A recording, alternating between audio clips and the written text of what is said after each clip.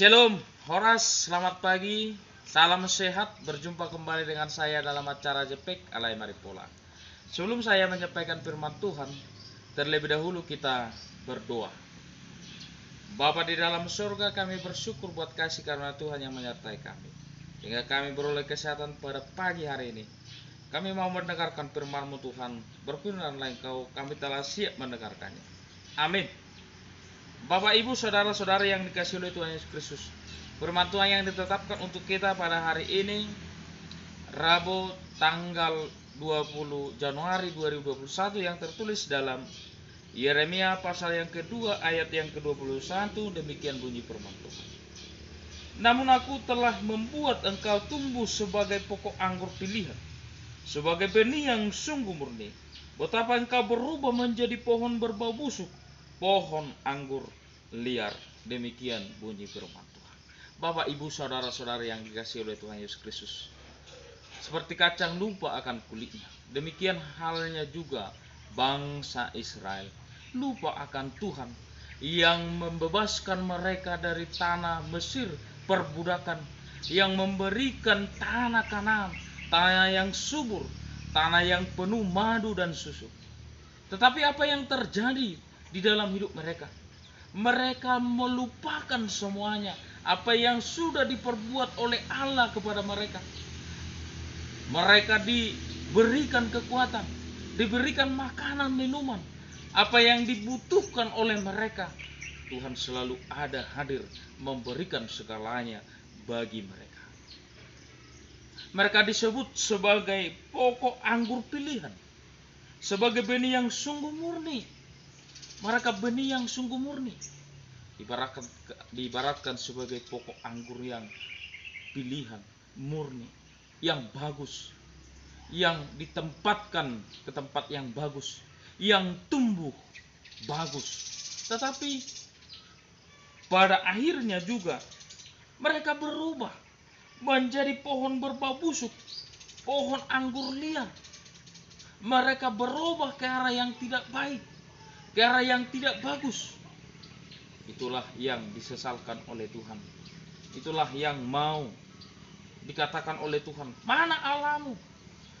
Allahmu ilah-ilah yang dibuat oleh mereka, yang dibuat oleh tangan mereka, yang disembah oleh mereka. Biarlah mereka bangkit untuk menyelamatkan engkau pada malapetaka. Seperti banyaknya kotamu, demikian banyaknya para allahmu. Hai Yehuda, kata firman Tuhan. Betapa banyaknya Allah-Allah lain, Allah-Allah Baal yang diciptakan mereka untuk disembah. Mereka berbarik dari Allah yang menyelamatkan mereka yaitu Tuhan kita Bapak Ibu Saudara-saudari yang dikasih oleh Tuhan Yesus Kristus mari kita merenungkan firman Tuhan pada saat ini untuk setia kepada Tuhan setia kepada dia sebagai umat pilihan sebagai orang yang dipilih menjadi percaya kepada Tuhan jangan kita menduahkan Tuhan mari kita percaya kepada Tuhan Mari kita menjadi pokok anggur pilihan yang murni. Jangan kita berubah menjadi pokok anggur yang busuk. Pokok anggur yang liar. Tapi berubahlah ke arah yang lebih baik. Bertobatlah ke arah yang lebih baik.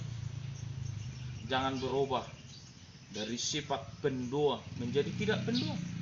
Dari orang yang rajin bergereja menjadi orang yang tidak rajin bergereja. Dari orang yang percaya kepada Tuhan menjadi orang yang tidak percaya kepada Tuhan. Dari orang yang berbuat baik menjadi orang yang berbuat jahat. Itu adalah pertobatan yang tidak baik, perubahan yang tidak baik.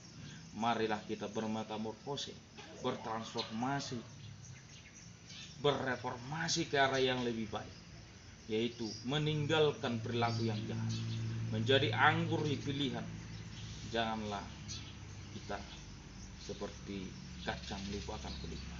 Mari kita ingat, kita renungkan betapa besarnya pengorbanan Tuhan kepada kita melalui kematiannya di kayu salib. Dia rela mati untuk menyelamatkan kita. Selalu percaya, mari berubah ke arah yang lebih baik, menjadi pokok anggur pilihan, yang murni, bukan menjadi pokok anggur yang busuk, yang liar. Tuhan Yesus memberkati kita berdoa. Bapa di dalam surga kami bersyukur buat firman-Mu yang telah kami dengarkan. Firman-Mu mengingatkan kami Tuhan menjadi pokok anggur yang baik pilihan, yang murni. Janganlah kami Tuhan berubah menjadi pokok anggur yang busuk seperti umat itu yang berubah menjadi orang-orang yang percaya kepada Allah-Allah balu yang meninggalkan engkau. Kami mau ingat engkau Tuhan engkau yang menyelamatkan kami engkau yang memberikan segalanya bagi kami. Kami mau datang menyembah engkau memuji bersyukur kepadamu. Buatkan kami Tuhan di dalam nama anakmu Tuhan Yesus Kristus kami berdoa untuk syukur kiranya kehendakmu yang terjadi. Amin